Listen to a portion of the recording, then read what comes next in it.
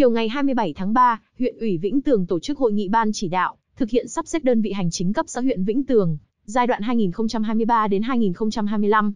Các đồng chí, Nguyễn Xuân Quang tỉnh ủy viên, Bí thư huyện ủy, Chủ tịch Hội đồng nhân dân huyện, Đàm Hữu Khanh, Phó Bí thư thường trực huyện ủy, Lê Nguyễn Thành Trung Phó Bí thư huyện ủy, Chủ tịch Ủy ban nhân dân huyện dự và đồng chủ trì hội nghị. Hội nghị thông qua quyết định thành lập ban chỉ đạo, tổ giúp việc và phân công nhiệm vụ cụ thể cho từng thành viên ban chỉ đạo thực hiện sắp xếp đơn vị hành chính cấp xã huyện Vĩnh Tường, giai đoạn 2023 đến 2025, báo cáo tiến độ thực hiện sắp xếp đơn vị hành chính cấp xã giai đoạn 2023-2025, dự thảo đề án sắp xếp đơn vị hành chính cấp xã giai đoạn 2023 đến 2025 trên địa bàn huyện Vĩnh Tường. Thực hiện sắp xếp đơn vị hành chính cấp xã, huyện Vĩnh Tường đã ban hành các văn bản triển khai sắp xếp đơn vị hành chính cấp xã giai đoạn 2023-2025, tích cực tuyên truyền về chủ trương sắp xếp đơn vị hành chính cấp xã thông qua hệ thống truyền thanh, các hội nghị, các buổi sinh hoạt tri bộ, tổ chức hội. Ủy ban nhân dân các xã, thị trấn đã tiến hành niêm yết, dự thảo đề án sắp xếp đơn vị hành chính cấp xã, bản tóm tắt dự thảo đề án, danh mục các văn bản chủ trương của Đảng,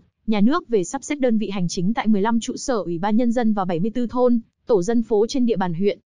Phát biểu kết luận hội nghị, đồng chí Nguyễn Xuân Quang, tỉnh ủy viên, bí thư huyện ủy, chủ tịch hội đồng nhân dân huyện, trưởng ban chỉ đạo thực hiện sắp xếp đơn vị hành chính cấp xã huyện khẳng định, việc sắp xếp đơn vị hành chính cấp xã giai đoạn 2023-2025 là chủ trương lớn của Đảng, nhà nước, là yêu cầu, nhiệm vụ bắt buộc phải thực hiện theo đúng lộ trình, kế hoạch mà Trung ương, tỉnh yêu cầu, là nhiệm vụ chính trị đặc biệt quan trọng cần huy động sự vào cuộc quyết liệt của cả hệ thống chính trị và toàn xã hội, sự đồng thuận, ủng hộ cao của các tầng lớp nhân dân.